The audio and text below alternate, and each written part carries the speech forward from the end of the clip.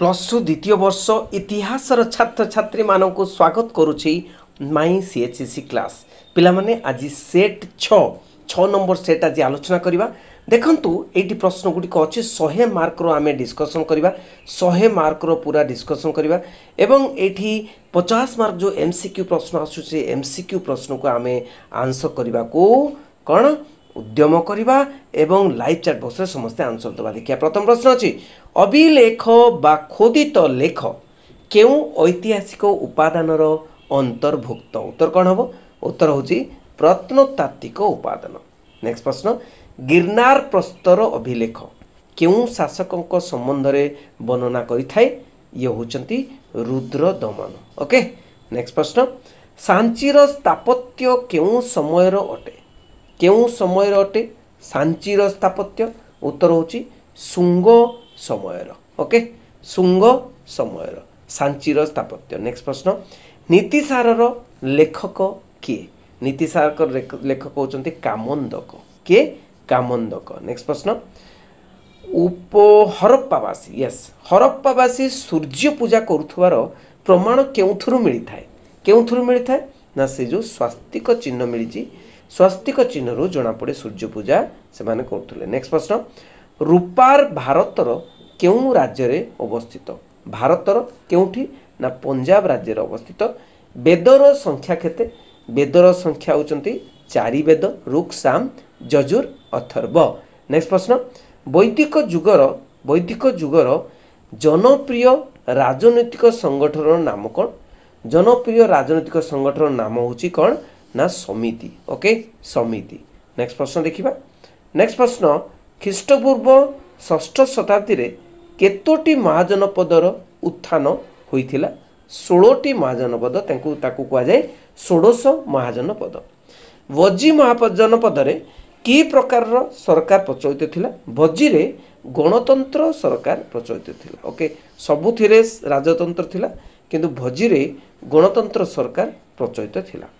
Next ପ୍ରଶ୍ନ ଚତୁର୍ଜାମ ଧର୍ମ କିଏ ପ୍ରଚାର କରିଥିଲେ ଚତୁର୍ଜାମ ଧର୍ମ କିଏ ନା ଚତୁର୍ଜାମ ଧର୍ମ ପାର୍ଶ୍ୱନାଥ ପ୍ରକାଶ କରିଥିଲେ ବା ପ୍ରଚାର କରିଥିଲେ ଯେଉଁଟା ଚତୁର୍ଜାମ କ'ଣ କ'ଣ ଅହିଂସା ସତ୍ୟ ଅସ୍ତେୟ ଅପରିଗ୍ରହ ଓକେ এই ଚତୁର୍ଜାମ ଧର୍ମରେ ପଞ୍ଚ ପ୍ରତିଜ୍ଞାତା କୁହାଯାଏ ପାଞ୍ଚ ନମ୍ବର ଜିନିଷଟି ବ୍ରହ୍ମଚର୍ଯ୍ୟ ଯୋଗ ହୋଇଥିଲା ନେକ୍ସଟ ପ୍ରଶ୍ନ କିଏ କରିଥିଲେ ନା ମହାବୀର ଯୋଗ କରିଥିଲେ ନେକ୍ସଟ ପ୍ରଶ୍ନ ମହାବୀରଙ୍କର ମାତାଙ୍କ ନାମ କ'ଣ ଥିଲା ମହାବୀରଙ୍କ ମାତାଙ୍କ ନାମ ହେଉଛି ତ୍ରିଶଳା ଓକେ ନେକ୍ସଟ ପ୍ରଶ୍ନ ଗୌତମ ବୁଦ୍ଧ କେଉଁଠାରେ ଜନ୍ମଗ୍ରହଣ କରିଥିଲେ ଗୌତମ ବୁଦ୍ଧ କେଉଁଠି ନା ଲୁମ୍ବିନୀ ଉଦ୍ୟାନରେ ଆମେ ଜାଣିଛୁ ଯେ ଲୁମ୍ବିନୀରେ ଜନ୍ମଗ୍ରହଣ କରିଥିଲେ କିଏ ଭାରତୀୟ ଲୁଥର ଭାବରେ ପରିଚିତ ଏସିଆର ଆଲୋକ ତାଙ୍କୁ କୁହାଯାଏ ଭାରତର ଲୁଥର ବୋଲି କୁହାଯାଏ ସେ ହେଉଛନ୍ତି ଗୌତମ ବୁଦ୍ଧ ନାଇଁ କି ନେକ୍ସଟ ପ୍ରଶ୍ନ ମୌର୍ଯ୍ୟ ବଂଶ କିଏ ପ୍ରତିଷ୍ଠା କରିଥିଲେ ବଢ଼ିଆ ପ୍ରଶ୍ନ ମୌର୍ଯ୍ୟ ବଂଶ ପ୍ରତିଷ୍ଠା କରିଥିଲେ କିଏ ନା ଚନ୍ଦ୍ରଗୁପ୍ତ ମୌର୍ଯ୍ୟ ଓକେ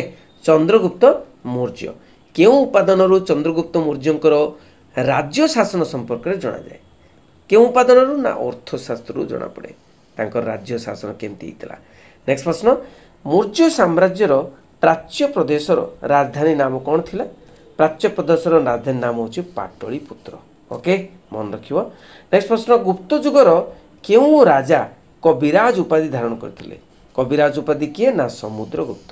ଗୁପ୍ତ ଯୁଗର ସମୁଦ୍ରଗୁପ୍ତ ନେକ୍ସଟ ପ୍ରଶ୍ନ ନେକ୍ସଟ ପ୍ରଶ୍ନ ଦେଖ ଶୃଙ୍ଗାର ଶତକର ରଚୟିତା କିଏ ଶୃଙ୍ଗାର ଶତକ ରଚୟିତା କିଏ ନା ଭର୍ତ୍ତୁହରି ଓକେ କେଉଁ ଗୁପ୍ତ ସମ୍ରାଟଙ୍କ ଦରବାରରେ ନବରତ୍ନ ରହିଥିଲେ ନବରତ୍ନ କେଉଁ ଗୁପ୍ତ ସମ୍ରାଟ ନା ଦ୍ୱିତୀୟ ଚନ୍ଦ୍ରଗୁପ୍ତ ତାଙ୍କୁ କୁହାଯାଏ ବିକ୍ରମାଦିତ୍ୟ ମଧ୍ୟ କୁହାଯାଏ ନେକ୍ସଟ ପ୍ରଶ୍ନ ମାଳତୀ ଦେବୀକୁ କାହାକୁ ବିବାହ କରିଥିଲେ ମାଳତୀ ଦେବୀ କାହାକୁ ବିବାହ କରିଥିଲେ ମାଳତୀ ଦେବୀ ନବକୃଷ୍ଣ ଚୌଧୁରୀଙ୍କୁ ବିବାହ କରିଥିଲେ ଓକେ ନବକୃଷ୍ଣ ଚୌଧୁରୀ ନେକ୍ସଟ ପ୍ରଶ୍ନ କେବେ ବଙ୍ଗର lieutenant governor sir S C Bayley Odisha ଭ୍ରମଣରେ ଆସିଥିଲେ? ସେ ଅଠରଶହ ଅଠାଅଶୀ ମସିହାରେ ଆସିଥିଲେ।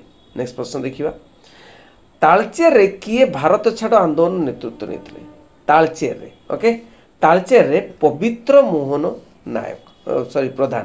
ପବିତ୍ର ମୋହନ ପ୍ରଧାନ। ଓକେ ଉଡ଼ଙ୍କ ସନନ୍ଦ ବା ଚାର୍ଲସ ଉଡ୍ କହନ୍ତି ଚାର୍ଲସ ଉଡ୍ର ସନନ୍ଦ ଓକେ ଚାର୍ଲସ ଉଡ୍ ଡେସ୍ପାତ ବୋଲି କହନ୍ତି କେବେ ଭାରତରେ କାର୍ଯ୍ୟକାରୀ ହେଲା କେବେ ଭାରତରେ କାର୍ଯ୍ୟକାରୀ ହେଲା ଅଠରଶହ ଚଉବନ କେବେ ଅଠରଶହ ଚଉବନ ମସିହାରେ ନେକ୍ସଟ ପ୍ରଶ୍ନ ଖୋର୍ଦ୍ଧା ବିଦ୍ରୋହ ସମୟରେ କିଏ କଟକର ମାଜିଷ୍ଟ୍ରେଟ୍ ଥିଲେ କଟକର ମାଜିଷ୍ଟ୍ରେଟ୍ ଥିଲେ କିଏ ଏଡୱାର୍ଡ ଇମ୍ଫେ କିଏ ଏଡୱାର୍ଡ ଇମ୍ଫେ ନେକ୍ସଟ ପ୍ରଶ୍ନ ଦେଖିବା ଆହୁରି ପଚିଶଟି ପ୍ରଶ୍ନ ଗୁରୁମୁଖୀ ଭାଷାରେ କିଏ ନିଜର ଧର୍ମ ପ୍ରଚାର କରିଥିଲେ ଗୁରୁମୁଖୀ ଭାଷାରେ କିଏ ନାନକ ଓକେ ଗୁପ୍ତ ରାଜାମାନେ ଗୁପ୍ତ ରାଜାମାନେ କେଉଁ ଧର୍ମର ପୃଷ୍ଠପୋଷକ ଥିଲେ?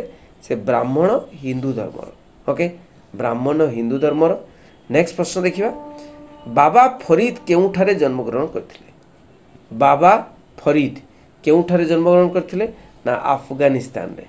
କିଏ ପ୍ରଥମେ ଦାକ୍ଷିଣାତ୍ୟର ଭକ୍ତିବାଦ ପ୍ରଚାର କରିଥିଲେ ଦାକ୍ଷିଣାତ୍ୟରେ? ସେ ହେଉଛନ୍ତି ରାମାନୁଜ। କିଏ? ରାମାନୁଜ। ନେକ୍ସଟ ପ୍ରଶ୍ନ ଦେଖିବା ହିନ୍ଦୁ ଏବଂ ମୁସଲମାନ ସଂସ୍କୃତିର ମିଳନ ଯୋଗୁଁ କେଉଁ ପୂଜା ସୃଷ୍ଟି ହୋଇଥିଲା କେଉଁ ପୂଜା ସୃଷ୍ଟି ହୋଇଥିଲା ଉତ୍ତର ହେଉଛି ସତ୍ୟପୀର ପୂଜା କିଏ ଭାରତରେ ସଡ଼କ ପଥର ଉନ୍ନତି ପାଇଁ ଦୃଷ୍ଟି ଦେଇଥିଲେ କିଏ ନା ୱିଲିୟମ ବେଣ୍ଟିକ୍ ଓକେ ଆଚ୍ଛା ସଡ଼କ ପଥର ବେଣ୍ଟିକ୍ କାହିଁକି ହେବ? ଓକେ ସଡ଼କ ପଥର ବେଣ୍ଟିକ୍ ହେବନି ସଡ଼କ ପଥର ଡେଲା ହାଉସି ହେବ। ଓକେ ଡେଲା ହେଉଛି ସଡ଼କ ପଥ ରେଳପଥ ସବୁର ଉନ୍ନତି କରିଥିଲେ। ନେକ୍ସଟ ପ୍ରଶ୍ନ ଦେଖିବା। ମହଲୁଆରୀ ବ୍ୟବସ୍ଥାରେ କିଏ ଜମିର ବଣ୍ଟନ କରୁଥିଲେ? ମହଲୁଆରୀ ବ୍ୟବସ୍ଥାରେ ଜମିଦାର ବା ମିଳିତ ଗୋଷ୍ଠୀ ମିଶିକିରି କରୁଥିଲେ। ମୌର୍ଯ୍ୟ ରାଜାମାନଙ୍କର ରାଜାଙ୍କର ଧର୍ମ ଉପଦେଷ୍ଟାକୁ କ'ଣ କୁହାଯାଉଥିଲା? ସେ ହେଉଛନ୍ତି କିଏ? ନା ପୁରୋହିତ। ସବୁଠାରୁ ପୁରୋହିତ ସବୁଠାରୁ ଉଚ୍ଚ କୋଟିର ସ୍ଥାନରେ ଥିଲେ ବା ଉଚ୍ଚ କୋଟିର ତାଙ୍କୁ ଦିଆଯାଇଥିଲା ଉପାଧି। ଓକେ ଅଠରଶହ ଚଉ ଚାରି ମସିହାରେ ଖୋର୍ଦ୍ଧା ବିଦ୍ରୋହ ସମୟରେ ଖୋର୍ଦ୍ଧାର ରାଜା କିଏ ଥିଲେ? ଖୋର୍ଦ୍ଧା ରାଜ ଥିଲେ ଦ୍ୱିତୀୟ ମୁକୁନ୍ଦ ଦେବ। ଓକେ ନେକ୍ସଟ ପ୍ରଶ୍ନ। ଭାଗଲପୁର ଏବଂ ରାଜମହଲ ମଧ୍ୟରେ ରହୁଥିବା କେଉଁ ଆଦିବାସୀ ସମ୍ପ୍ରଦାୟ ଇଂରେଜମାନଙ୍କ ବିରୁଦ୍ଧରେ ବିଦ୍ରୋହ କରିଥିଲେ? କିଏ? ହଁ ହଁ ସେ ହେଉଛି ସାନ୍ତାଳ ସମ୍ପ୍ରଦାୟ। ଓକେ ମୁଗଲ ସମ୍ରାଟ ଦ୍ୱିତୀୟ ବାହାଦୁର ଶାହଙ୍କୁ ବନ୍ଦୀ କରାଯାଇ କେଉଁ ସ୍ଥାନକୁ ପଠାଯାଇଥିଲା? ଓକେ ସେ ହେଉଛନ୍ତି ରେଙ୍ଗୁନକୁ ପଠାଯାଇଥିଲା। ଓକେ ନେକ୍ସଟ ପ୍ରଶ୍ନ। କେବେ ଲର୍ଡ଼ କର୍ଜନ ବଙ୍ଗଭଙ୍ଗ ଆଇନ ପ୍ରଣୟନ କରିଥିଲେ? ବଙ୍ଗଭଙ୍ଗ ଆଇନ ଉଣେଇଶହ ପାଞ୍ଚରେ ଓଡ଼ିଶା ପ୍ରାଦେଶିକ କଂଗ୍ରେସ କମିଟିର ଉପସଭାପତି କିଏ ଥିଲେ? ସଭାପତି ତ ଆମେ ଜା- ଜାଣିଛୁ ଉତ୍କଳମଣି ଗୋପବନ୍ଧୁ ଦାସ। ଉପ ଉପସଭାପତି କିଏ ଥିଲେ? ଓକେ କମିଟିର ଉପସଭାପତି ଏକରାମ ରସୁଲ। କ'ଣ? ଉତ୍ତର ହେଉଛି ଏକରାମ ରସୁଲ। ନେକ୍ସଟ ପ୍ରଶ୍ନ। ହିନ୍ଦୁସ୍ତାନ ରିପବ୍ଲିକାନ ସଂଘ କେବେ ଗଠିତ ହୋଇଥିଲା? ହିନ୍ଦୁସ୍ତାନ ରିପବ୍ଲିକାନ ସଂଘ ଉଣେଇଶହ ଚବିଶ ମସିହାରେ ଗଠିତ ହୋଇଥିଲା। ଭାରତ ଛାଡ଼ ଆନ୍ଦୋଳନ ସମୟର ନୟାଗଡ଼ର ନୂଆଗାଁ ଠାରେ କିଏ ପୋଲିସ ଗୁଳି ଗୁଳିରେ ପ୍ରାଣ ହରାଇଥିଲେ? ଉତ୍ତର ହେଉଛି କାଶୀ ଡାକୁଆ। କ'ଣ? କାଶୀ ଡାକୁଆ। ଓଡ଼ିଶାର କେଉଁ ସମ୍ରାଟ ଜୈନ ଧର୍ମର ପୃଷ୍ଠପୋଷକ ଥିଲେ? ଏ କିଏ ହେବରେ ହେ ଖାରବେଳ। ଓକେ? ହାତୀ ଗୁମ୍ଫା ଶିଳାଲେଖ ଯାହାର ଅଛି ଖାରବେଳ। ନେକ୍ସଟ ପ୍ରଶ୍ନ କେଉଁ ମହାଜନପଦର ରାଜଧାନୀ ପ୍ରାଚୀନ ଭାରତର ଏକ ମହାନ ଶିକ୍ଷା କେନ୍ଦ୍ର ଥିଲା? କିଏ? ଉତ୍ତର ହେଉଛି ଗାନ୍ଧାର। କ'ଣ? ଗାନ୍ଧାର। ନେକ୍ସଟ ପ୍ରଶ୍ନ। ରାମଚରିତ ପୁସ୍ତକ କିଏ ରଚନା କରିଥିଲେ? ରାମଚରିତ ପୁସ୍ତକ। କିଏ ରଚନା କରିଥିଲେ? ରାମଚରିତ ପୁସ୍ତକ ସନ୍ଧ୍ୟାକର ନନ୍ଦୀ। ଓକେ ଗଞ୍ଜାମ କେଉଁ ପ୍ରେସିଡେନ୍ସିର ଏକ ଅଙ୍ଗ ଥିଲା?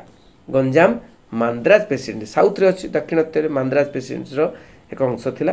କିଏ ଲର୍ଡ଼ କର୍ଜନକୁ ପ୍ରଭାବିତ କରି ଓଡ଼ିଶା ଗସ୍ତରେ ଆଣିଥିଲେ? ଓଡ଼ିଶା ଗସ୍ତରେ ଲର୍ଡ଼ କର୍ଜନକୁ ଆଣିଥିଲେ। କିଏ?